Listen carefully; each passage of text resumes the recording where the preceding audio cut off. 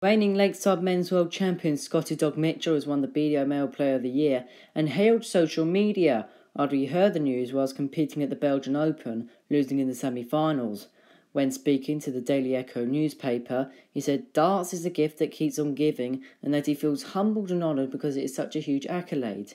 He went on to say it was made extra special by the fact he did not need to be nominated by his own county, and that social media has been a great way of letting people know what he's doing and getting wider recognition, which is great for him and his county. Scott Mitchell is a current world number four, but has been a great ambassador for the BDO and darts in general, with one night playing a pairs exhibition with Anastasia Dobromyslova in Exeter, then heading to a tea party with the BDO World Championship trophy in Christchurch the following day. So for Magic Darts, Scott, congratulations on your latest accolade.